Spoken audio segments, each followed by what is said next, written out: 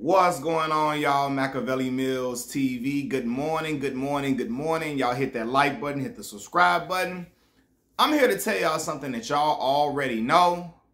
Well, I don't know if y'all know this or not, but you probably can tell by your social media interactions on Twitter or whatever from grown ass men like me. Wrestling is back entertaining once again. Seriously, and it's really, man, Dwayne The Rock Johnson, Triple H, all them together have made some amazing storylines.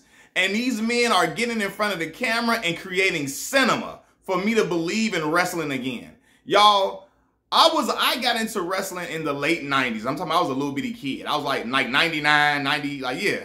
99, 98-ish, 99. I got into wrestling.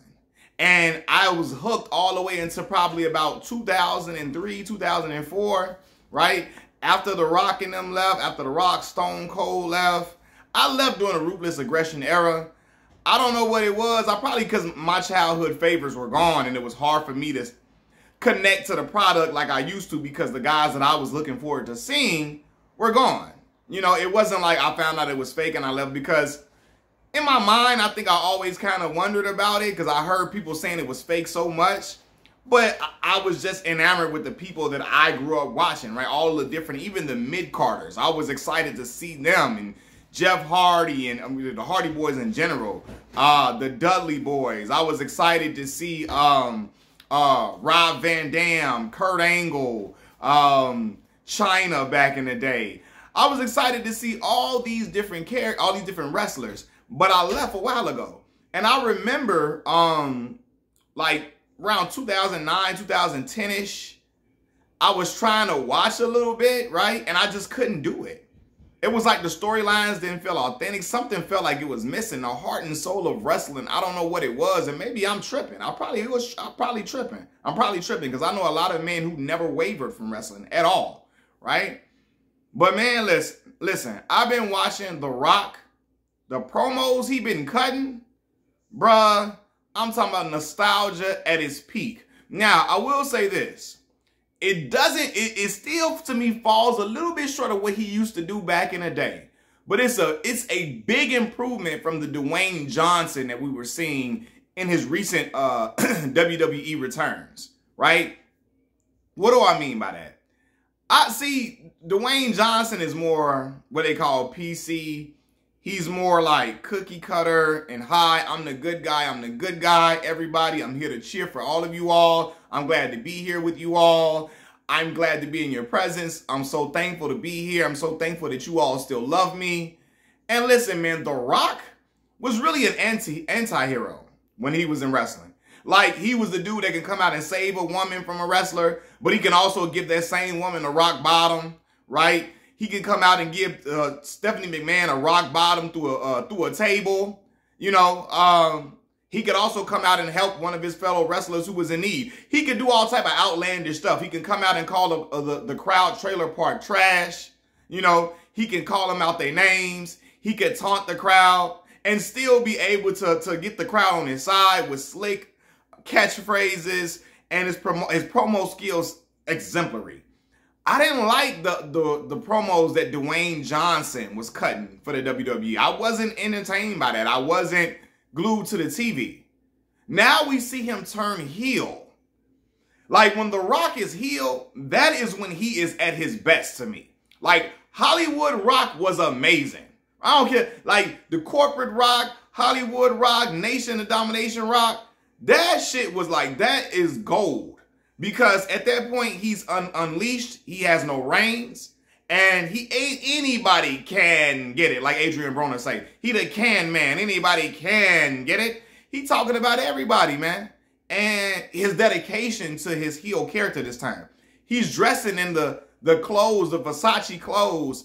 You know, it's not real Versace, but you know what I mean? Like, he dressing in the dress shirts and all this stuff. The, the, uh, the um, expensive garbs that he used to dress dress in, you know, when he was first, when he was a heel, not a heel, yeah, when he was a heel and when he was a face, uh, a baby face in wrestling, you know, in the 90s and the early 2000s, he's wearing that same type of attire.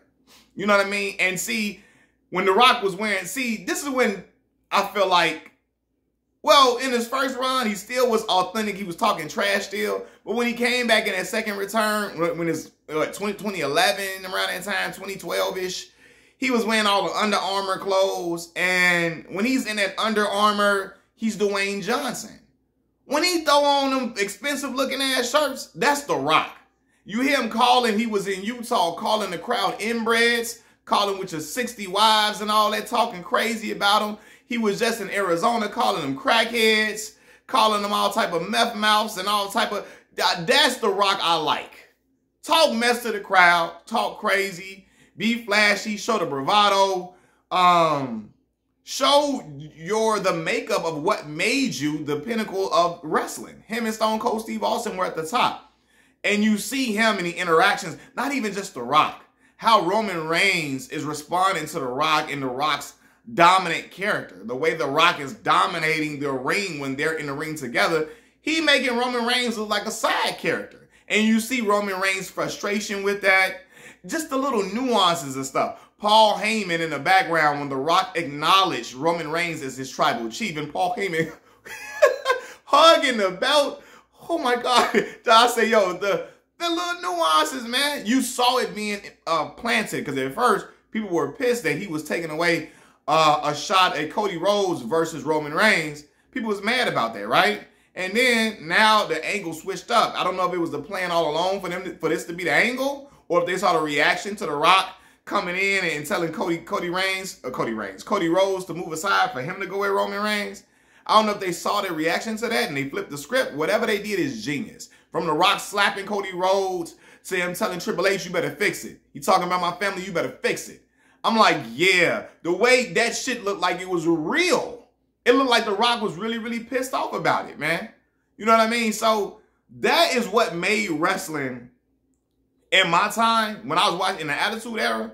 It made that's what sold it. Grown ass men was tuning in to watch Monday Night Raw. Seriously, like that, that is really the storylines. The way the characters felt believable. The way, like, like, they it was no breaking the kayfabe, and kayfabe is the wrestling storyline. I really thought Undertaker and Kane were brothers. I really thought if The Rock ever saw Triple H in a grocery store, he was to start whooping Triple H ass. I thought if Stone Cold Steve Austin ran into The Rock somewhere in public, they was to stare each other down for at least 10 minutes before one of them moved on to the whatever they was going to go do. Right? And it was believable because these guys sold it. You know what I mean? Like Undertaker sold his character for years, didn't do interviews like that, stayed in all all black attire to keep the mystique of his character. Now I know that's overly, that's all being overly dedicated, right? But it was just everything felt so authentic. And now we have a uh, The Rock, who's a board member now, and I think now he knows, hey, this product got to be good. I have to commit to this. You cannot be Dwayne Johnson. You can't bring that to wrestling. The fans are not going to eat that up, man. You need to be the rock in every sense of the word. You hear me? He to have to put a woman through a table some at some point soon. he to have to do that. All right? He to have to give somebody to rock by like a whole crowd of individuals to rock bottom like Stone Cold Steve Austin. Remember when Stone Cold came in the ring and gave everybody the goddamn stunner, was whooping everybody ass. I don't remember what event that was. Was that on Raw or SmackDown? I think it was Raw. Came in the ring, gave like 13 people the Stone Cold Stunner. Like, the, the Rock gonna have to do something like that. Because, like, you now have wrestling fans back in the palm of your hands. People are making reaction content to wrestling videos, bro. Like, seriously, I've seen men talk about their wives sitting and watching wrestling with them when The Rock is on TV, watching the Roman Reigns, Rock, Cody Rhodes, and them. People talking about their wives are watching with them, man. So now you got to keep capitalizing on this. You got to keep selling it. Shit, when they go to Texas, The Rock got to be that Bring Stone Cold out. You hear me? Let some little nostalgia seep in a little bit in the storyline somewhere, some way, if, if you can, right? Um, but yeah, man, I like The Rock them then got wrestling back cracking again, man. And, and you see the angle where he keep doing this instead of doing this, you know, at the bloodline salute at the end. And it's like, why the Rock throwing up an L? Is it set for the table and for them to turn, for him to turn on the tribal chief, for him to be head of the table? The dynamic, you see the friction building, even though they hugged each other and all of that after The Rock acknowledged Roman Reigns as his tribal chief. It's still gonna be some tension because Roman gonna be like, yo, The Rock still is dominating the screen. His presence is ever dominating.